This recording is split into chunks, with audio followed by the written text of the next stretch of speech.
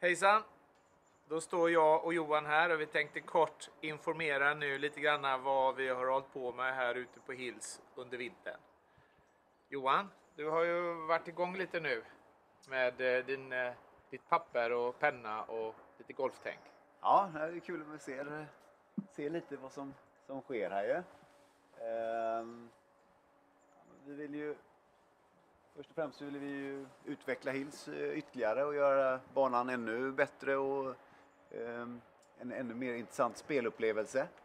Eh, och sen så har vi ju, ska vi knyta ihop hålen nere i Torrekulladalen för att få till vår, eh, vår nya bana som kommer 2023. Så vi har gjort en hel del här i vinter.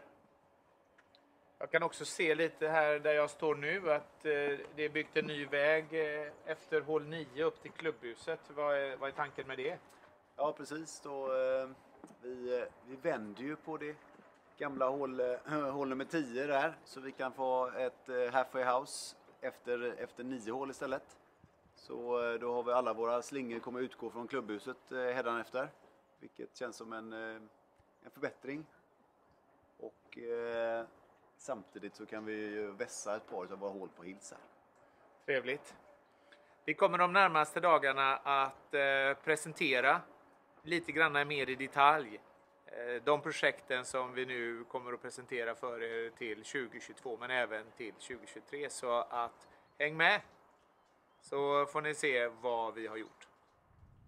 Välkommen till eh, Hål 1 Hills Eh, nu är vi dags att se över vad är det som har hänt på det här hållet Johan då? För här är det en rätt stor skillnad visuellt i, i min mening i alla fall. Så förklara gärna hur du har tänkt här. Ja, eh, den gamla trädungen som var innan har ju försvunnit och eh, ersatts av lite ett eh, kullsystem kan man väl säga. som de håller på och kämpar med fullt där nu. Eh, där grävskopan står så blir det ju en eh, liten damm här Eh, och sen så ska även den vänstra bunken ska eh, halveras i storlek så kommer fairway gå även på vänstersidan av bunken.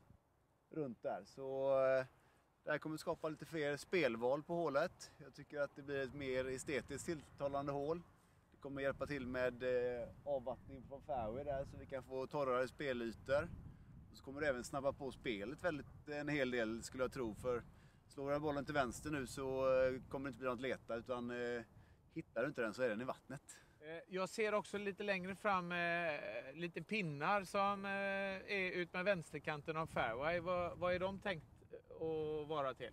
Ja precis, där tar vi fram eh, bäcken som ligger framme vid green där.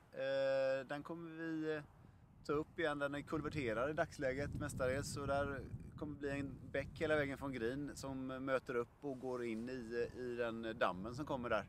Så den kommer ringla lite längs vänsterkanten hela vägen där.